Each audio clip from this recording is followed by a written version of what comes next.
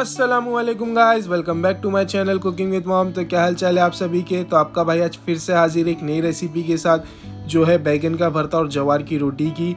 हाँ आज आपके भाई ने जो है एक देसी रेसिपी लाया है। मैं तो ये मानता हूँ कि यार फॉरेन रेसिपीज़ जो है पास्ता पिज़्ज़ा वगैरह, वो सब अपनी जगह है बट अपना देसी खाना जो है, वो सबसे बेस्ट है।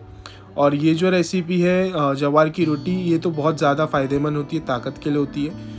तो ये ज़रूर आप ट्राई कीजिए बनाइए। तो चलिए फिर देखते हैं हमें इस रेसिपी के लिए किन किन इन्ग्रीडियंट्स की ज़रूरत है। अब यहाँ पे जो हमने एक बड़ा बैगन ले लिया है, ये जो बैगन होते हैं, ये स्पेशली भर्ती के लिए होते हैं तो हमने चार बैगन लिए हैं इसे। इसके अंदर हम जो छुरी से इस तरीके से ट्विस्ट करके होल बना लेंगे। हमने पहले से ही होल बना के रखा है। और इस होल में जो है हम लहसन डालेंगे। लहसन को जो इस तरीके से हम होल में डाल के अच्छे से पूछ कर लेंगे ताकि लहसन अंदर चले जाए। एक एक करके हम जो है पूरे बैगन में लहसन लगा लेंगे। आप लगभग समझिए पंद्रह तक की दस पंद्रह लहसन हमें एक बैगन में लगाना है।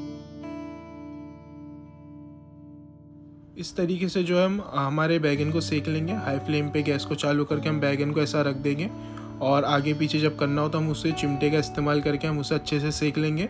जब तक पूरा बैगन इस तरीके से काला हो जाए, तब तक के हमें सेकना है। उसके बाद हम आलू भी सेक लेंगे। आलू सेकने के लिए कुछ नहीं करना, नॉर्मली बस आलू को रख दीजिए आप। हाई फ्लेम पे और सेक लीजिए। और टमाटर भी जो हम इसी तरीके से हाई फ्लेम पे रख के सेक लेंगे। टमाटर और आलू हमने चार चार लिए थे मीडियम साइज़ के। अब बैगन थोड़ा ठंडा हो जाए, उसके बाद हम उसका जो छिलका हाथ से निकाल लेंगे। अगर आपसे नहीं बनता तो आप चिमटे से निकाल लीजिए। और चारों बैगन का हम अच्छे से इस तरीके से छिलका निकाल लेंगे और लहसन को साइड में निकाल के रख देंगे। और आलू को छीलने के लिए हम छुरी का इस्तेमाल करेंगे। उसका जो जला हुआ हिस्सा होगा, हम उसे अच्छे से काट के निकाल देंगे छिलके। और टमाटर को भी जो है हम हाथ से छिल के उसका जो छिलका रहेगा, जला हुआ, वो निकाल देंगे हम। अब इसके बाद जो हम एक एक करके सारी चीज़ों को पीस लेंगे। तो सबसे पहले हम टमाटर की प्यूरी बना लेंगे। टमाटर को काट के हम एक मिक्सर के जार में उसको पीस लेंगे और उसकी हम प्यूरी बना लेंगे। अब हम इसी तरीके से जो है बैगन को भी पीस लेंगे। बैगन को, चारों बैगन को काट के हम मिक्सर के जार में डाल लेंगे और उसको हम पीस लेंगे। और आलू को भी जो है हम काट के इसमें डाल लेंगे और आलू को भी हम पीस लेंगे। आलू को एकदम भी नहीं पीसना है हल्का सा पीसना है हमें इसमें।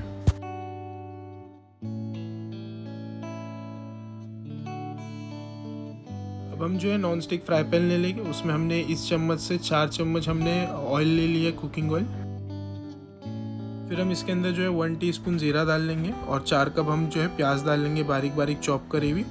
पूरी लाल हो जाए तब तक कि हमें इसे जो है फ्राई करना अब हम इसमें जो है दो चम्मच अदरक का पेस्ट और दो चम्मच लहसुन का पेस्ट डाल लेंगे। और हरी मिर्ची का पेस्ट जो है हमने टू टेबल स्पून लिया है। अगर आप तीखा कम खाते हो तो आप तीखा कम कर लीजिए मिर्ची, एक टेबल स्पून यूज़ कर लीजिए आप।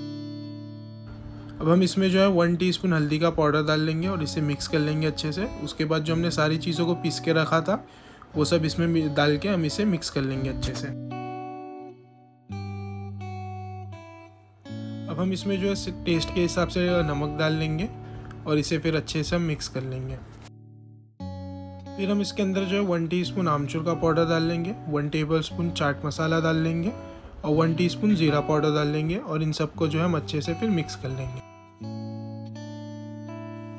अब जो हमारा भरता ऑलमोस्ट तैयार हो चुका है तो अब हम जो इसे ढक के पाँच मिनट के लिए पका लेंगे। तो अब हम जो है जवार की रोटी बनाने के लिए उसका आटा गूंद लेंगे। हमने आधा किलो जवार का आटा लिया है और उसके ऊपर अभी हमने जो है स्वाद अनुसार नमक डाल के हम इसे अच्छे से मिक्स कर लेंगे। अब इसे गूंदने के लिए हम इसमें थोड़ा थोड़ा पानी ऐड करते जाएँगे। एक साथ पूरा मत डाल देना, वरना कभी कभार पानी ज़्यादा होने की वजह से हमारा आटा पतला हो जाता है। तो थोड़ा थोड़ा करके हम इसमें पानी डालेंगे और इसे मिक्स करते जाएँगे हम।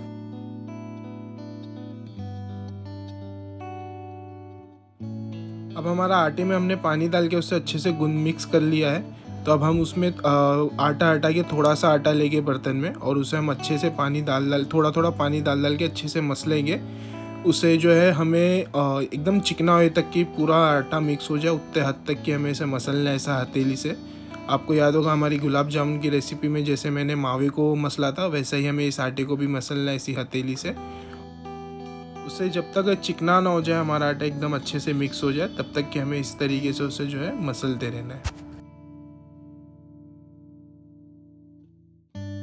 अब जो हम रोटी बनाने के लिए, रोटी बनाने के लिए हमने लोई ली है उसकी और उसे हमने प्लेटफॉर्म पे बनाया पटला और बेलन यूज़ नहीं किया है। प्लेटफॉर्म पे हम इसे जवार का आटा डाल के उसे हाथ से जो है अम्मी मसले जा रहे हैं और गोल गोल घुमाए जा रहे हैं। तो रोटी बहुत अच्छे से बनी। आप पटला बेलन से भी बना सकते हैं बट इससे आसानी से बनती है। और फिर हमने नॉन स्टिक पैन ले लिया। उस पर हमने हल्का सा हमारी रोटी के ऊपर पानी लगा के हम इसे सेकेंगे। इसमें तेल वगैरह नहीं लगाना है। आप लगा लगा भी सकते हैं आपकी चॉइस है बट हमने बिना तेल के सेका था। इस पर हल्का सा रोटी पे पानी लगा के हमने इसे तवे पे सेका है।